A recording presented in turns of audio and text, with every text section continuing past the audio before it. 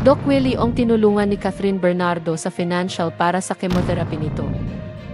Ay, yes. Antibiotics. Alam niya, hindi ko na alam kung parang I felt so lost.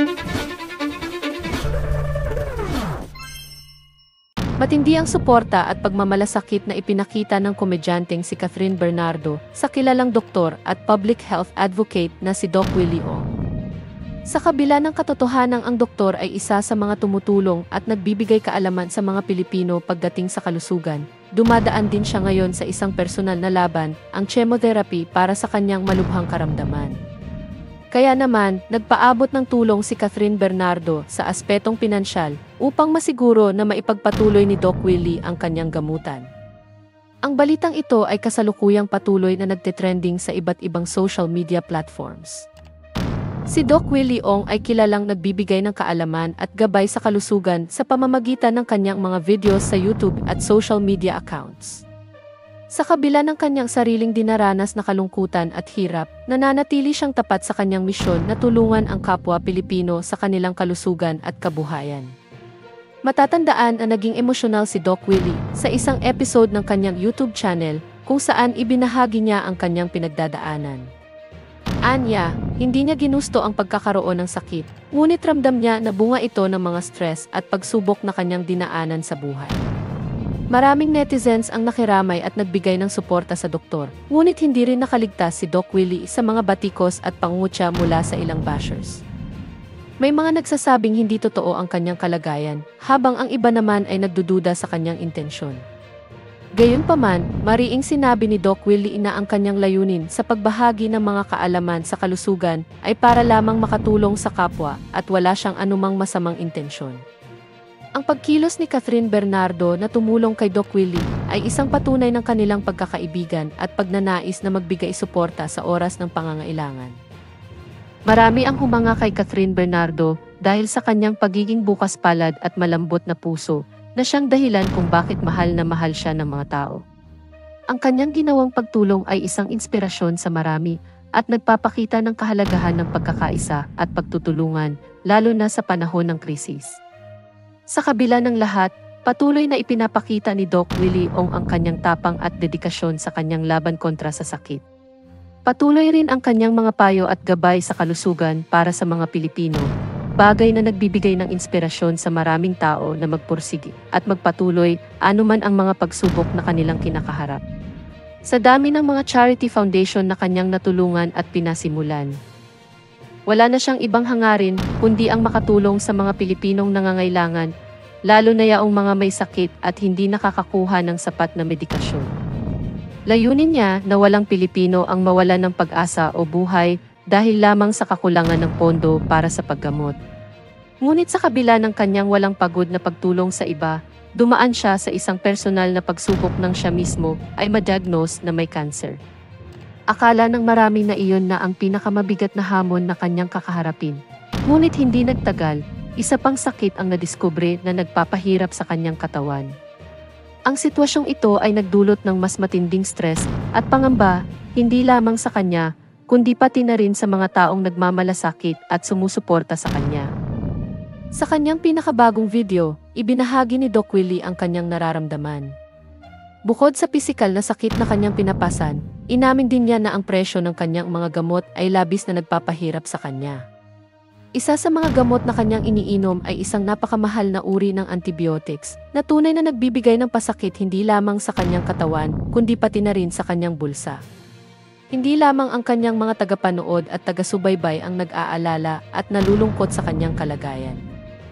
Maging ang ilang mga kilalang personalidad sa politika at showbiz ay nagpapahayag ng kanilang simpatya at pagsuporta. Marami sa kanila ang nagdadasal para sa kanyang mabilis na paggaling at nag-aalay ng tulong, hindi lamang sa aspeto ng pinansyal, kundi pati na rin sa espiritual na anyo sa pamamagitan ng kanilang mga panalangin.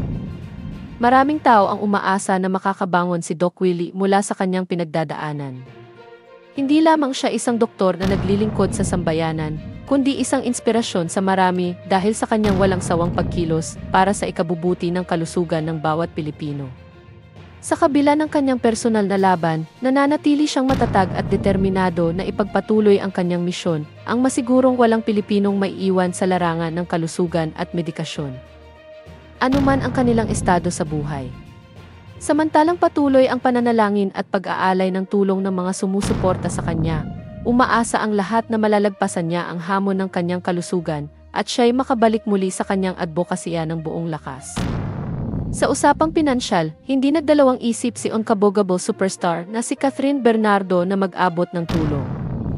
Siyempre, hindi may pagkakaila na isa siya sa mga pinakamayamang personalidad sa showbiz, dala ng kanyang napakaraming endorsements, projects, at iba't ibang business ventures.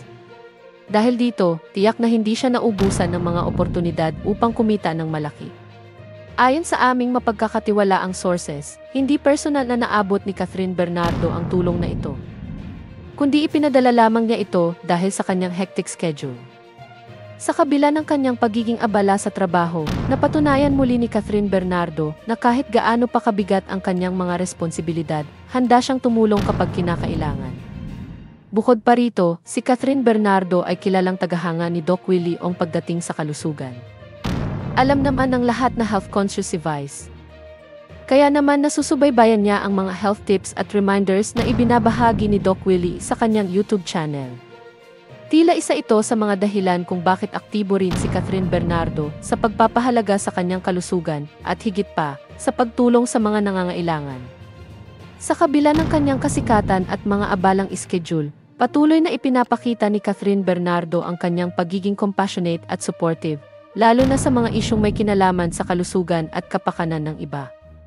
Tunay na inspirasyon si Catherine Bernardo, hindi lamang sa kanyang mga tagahanga, kundi sa bawat Pilipino. Labis ang naramdamang lungkot ni Doc Willie Ong nang malaman ang kalubhaan ng kanyang karamdaman. Sa kabila nito, hindi niya maiwasang magpasalamat sa mga tulong na natatanggap niya mula sa iba't ibang tao, lalo na mula sa kanyang pamilya. Damang-dama ng kanilang pamilya ang init ng suporta, at sa kabila ng mabigat na laban na kanilang hinaharap, hindi sila nawawala ng pag-asa. Ayon kay Doc Willie, ang patuloy na pagpapakita ng malasakit ng mga tao ay nagbibigay sa kanila ng lakas ng loob upang ipagpatuloy ang laban. Sa kasalukuyan, patuloy pa rin ang chemotherapy ni Doc Willie Ong at bagamat batid niyang hindi ganon kalaki ang sansa na humaba pa ang kanyang buhay, nananatili siyang umaasa. Naniniwala si Doc Willie na sa kabila ng lahat ng ito, kumikilos ang Diyos upang siya ay bigyan ng panibagong lakas. Para sa kanya, mahalaga ang kanyang misyon sa mga Pilipino, at dahil dito, naniniwala siyang gagabayan siya ng Panginoon upang magpatuloy sa pagbibigay ng serbisyo para sa kapwa.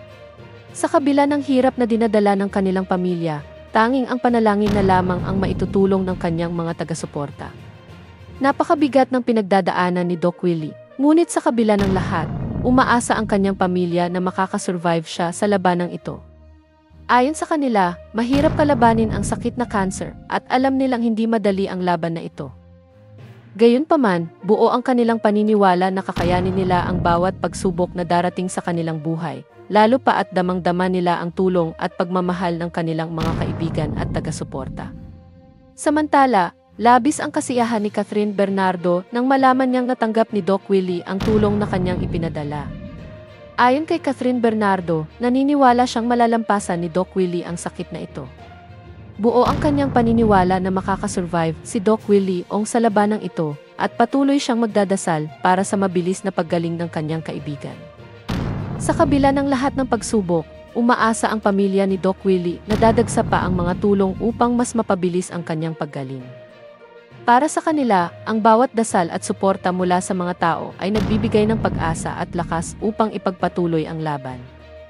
Naniniwala silang kasama nila ang Diyos sa bawat hakbang at buo ang kanilang loob na malalampasan nila ang pagsubok na ito.